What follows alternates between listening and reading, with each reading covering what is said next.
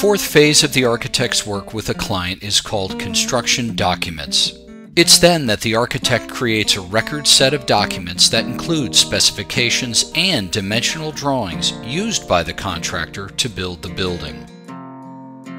Although traditional looking, the Winslow House in River Forest, Illinois, designed by Frank Lloyd Wright, was unconventional for the time. The house features large overhangs, a distinctive polychromatic facade, overscaled moldings, and terracotta tile.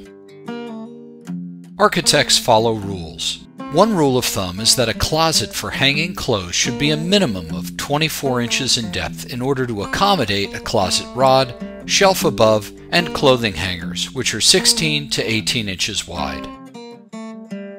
Burnham and Root designed the Reliance Building in Chicago, completed in 1895. It's the first building of its kind to hang a thin skin made of terracotta and glass from a steel framework. This mode of construction is called curtain wall. A typical residential door in the U.S. is 80 inches tall. Exterior doors should be 36 inches wide. Bathroom doors are typically 28 to 30 inches, and bedroom doors can be 30 to 32 inches wide or more.